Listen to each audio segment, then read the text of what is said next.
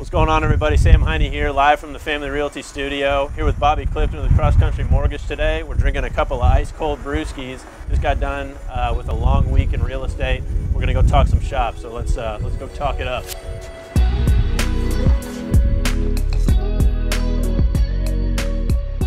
Right, so first things first, crazy market out there, low inventory. Uh, sellers are getting everything but the kitchen sink. It seems like buyers are having a tough time and having to get really creative and strategic with their agents to get their offers accepted. Um, what I'm curious about is because you're working with a lot of buyers on your end, you're on the mortgage lending end, I'm on the realtor end. We work together on a lot of uh, these things. But what are you seeing on your end that is getting offers accepted, mm-hmm. and then alternatively, because you've you, you know everybody sees offers get declined as well. What's mm-hmm. what's not working from what you're seeing? And, sure. Uh, you know what what might give the uh, the folks at home a better chance of getting their offer accepted on the house they're bidding for. Great question. First of all, um, yeah. So the, a couple of things that we're seeing a lot of, if um, government loans are tough right now to get accepted, um, and we're just seeing a lot of um, buyers with government loans, whether that's a USDA loan or VA loan, FHA loan, low down, low down payment loans. There's a huge misconception on those loans that they're uh, the buyers are higher risk, the deals have a higher probability of falling through. Um, they are low down payment, so the appraisal issue is obviously a problem because if the appraisal comes back short, we have a, a lot of times these buyers don't have a lot of the liquidity that a buyer that's got cash or somebody who's putting out 20% does. So there is there is a you're working with a smaller margin for error with some of these buyers. Um, so if if you have got to use uh, government government loan, do it. Um, the USDA loans, there's a little bit more, I think, in my opinion. Um, you have a higher probability of getting an offer accepted. They're a little bit, they're just they're they're they're a little bit different because there's not much competition typically because it's not something like right in um, in areas where there's tons and tons of competition. But the VA loans are tough. FHA loans are difficult. There's a big misconception on appraisals too that I think um, factors in with some of these uh, decisions that are being made by, by sellers. Um, if you want to get your offer accepted, the the best, in my opinion, what we've seen the most the most um, um, success with is a large down payment, conventional financing, um, a local lender, um, and just a lot of communication and transparency. Like we try to communicate with the listing agent when we have a buyer who's making an offer on a house, call them, try to get as much information as possible. Um, at the end of the day, you want to put your best foot forward. I want to make sure my buyer is is getting into that house or is taking their, their best shot. So yeah. if um, we can't get a hold of listing agent, if it's somebody who doesn't like to communicate, or if I've got a, if it's a tricky situation, it just makes makes it difficult. Um, yeah. So a lot of down payment, good credit, um, you know, a thorough pre-approval, and those are those are no guarantee, but you're you're you're definitely going to put yourself in the. Yeah. You're going to have a better chance of winning. Such a good start, you know, like that as a base, I think will get you pretty far. If not an accepted contract, mm-hmm. it's so competitive right now. You might have to strike out a couple of times before you get one. Um, but I think sellers, from from what I'm seeing, are just looking to mitigate their risk. You know, they're looking to get somebody. They want to pick the right one that's going to give them the best chance to get to the closing table. So, yep.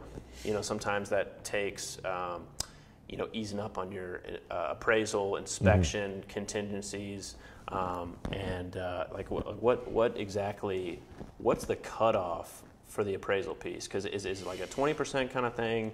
Because um, that is such an attractive thing for, yeah. for, a seller not to have to worry about. They're like, yeah. okay, these two are neck and neck, but one of them doesn't want an appraisal. One of them um, isn't going to ask me for any repairs. Mm-hmm. I'm going to go with that one. Sure. So we're seeing more and more, and this is, uh, I think Fannie, Fannie, Fannie and Freddie, Fannie, Fannie Mae and Freddie Mac came out with the property inspection waiver. It's also known as an appraisal waiver.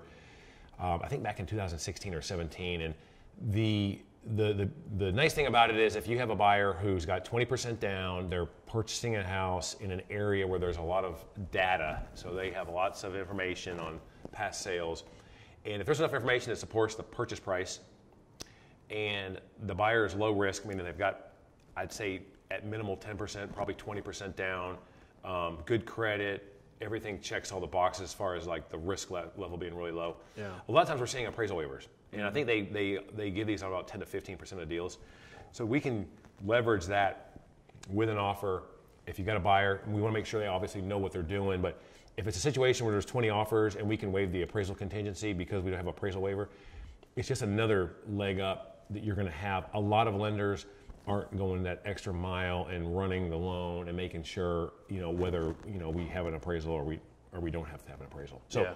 it helps out. Um, the inspection piece, same thing. The, there's in this market, you got to find creativity, and I think the, the inspection is one thing, the appraisal is one thing. Um, ideally, it's not a perfect situation for a buyer, but if they love the house and they want to get into it, those are some things that you can use um, to gain a leg up on the competition. I think. All right. So, from your end of the table, what do you see for 2021? Because I know you mentioned the last time we talked that rates were creeping up just a tick. Do you see a seller's market transitioning to more of a neutral market? What can people expect from what you're seeing uh, in, the, in the real estate market in 2021? Good question. Um, to be honest with you, I we like almost every year since like 13 or 14, we've seen it's been a seller's market. I mean, the the, the inventory keeps going down.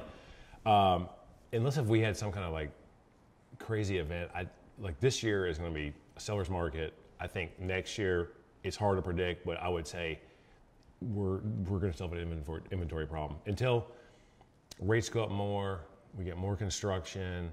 Yeah. Um, I mean, there's a lot of factors at play, but I honestly think until pandemic's through, until we see some of these things loosen up, we're going to see not much inventory, a ton of buyers. Um, since the pandemic hit last year, I, like the inventory has just gone down more and more, and the buyer pool has just increased and increased and increased. And I, it's going to take a long time to absorb that. Even if people started selling houses, um, rates went up, pandemic, we see some light at the end of the tunnel.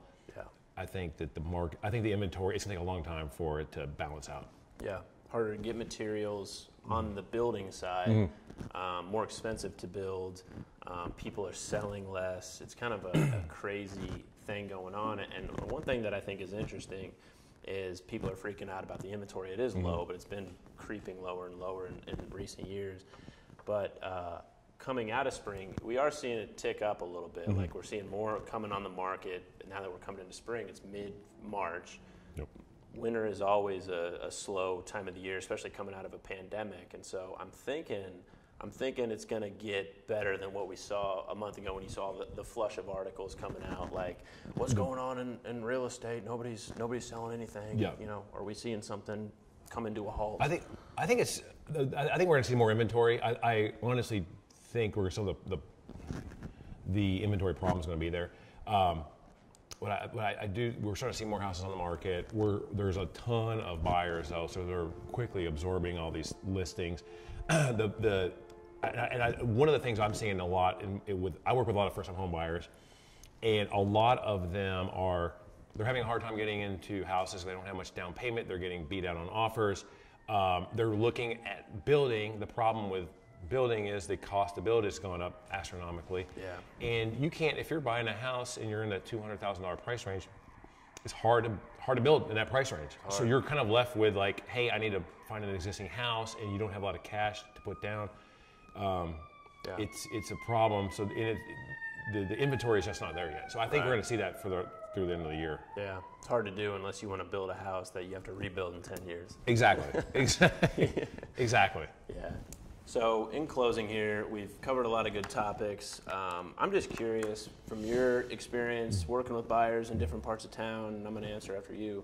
Um, what are a couple of projects, areas, neighborhoods that you're excited about that you see on a certain trajectory that might make them worth investing in, buying a home in, that you think could be a really cool area, or is a cool area that's going to become a cooler area in the next five years? Sure. Um, that's a great question. I um, work with a lot of buyers, and I see a lot of buyers purchasing in different parts of town, whether that's down in Butchertown, where the new stadium is. Um, we see a lot, I see a lot of people purchasing in Shelby Park if they're trying to get in Germantown and they want to get into a lower price point, but they're right in the middle of things.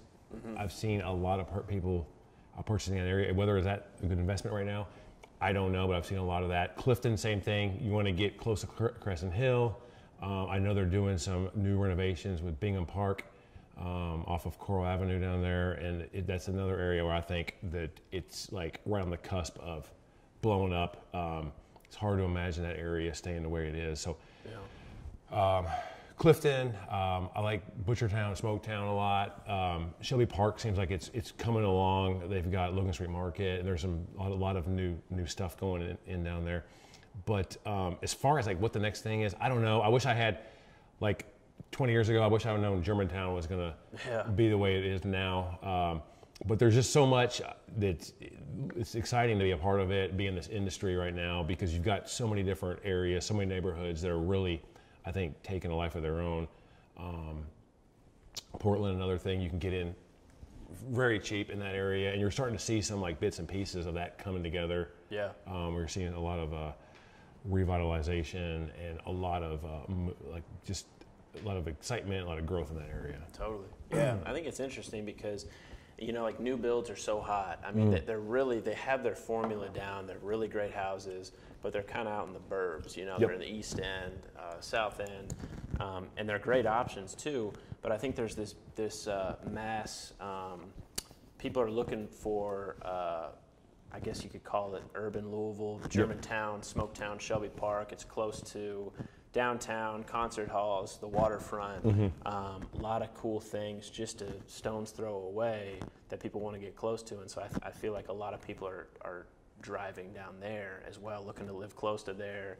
Yep. Um, Paristown Pointe is about to completely turn over. Um, You're, we're seeing a lot, a lot, a lot too with the because of the market the way it's at, where it's in right now, with not much inventory. Construction is expensive. Um, we're seeing a lot of buyers right now purchasing property like like um, fixer uppers that are not in the greatest shape. Going in, fixing those up. There's loans that you can do, conventional loans. There's a HomeStyle program. Freddie, uh, FHA's got a 203k rehab loan. So some of those, some of the loans are geared for just renovating some of these houses that are closer to the downtown instead of having to do new construction. yeah. It's it's it's exciting. Um, whether what neighborhoods are um, the next big thing, it's hard to tell. At least for me. Depends on, I guess, what floats your boat, where you're where you're working, what you like to do. There's some. Uh, it seems like in Louisville for for everyone, so it's kind of exciting to watch it all play out. Yeah, we'll yeah we'll see. I uh, um there's, there's a lot of lot of lot of uh, exciting things to take take an eye on. Yeah. And there you have it, folks. Another monthly market update in the books. Thank you to Bobby Clifton of Cross Country Mortgage for joining us today. Um, always, always an interesting uh, morsel to hear from somebody on a different side of the industry on what's going on in the market. So hopefully you uh, took something away from this week and uh, or this month. And uh, we will see you next month. Thanks for tuning in.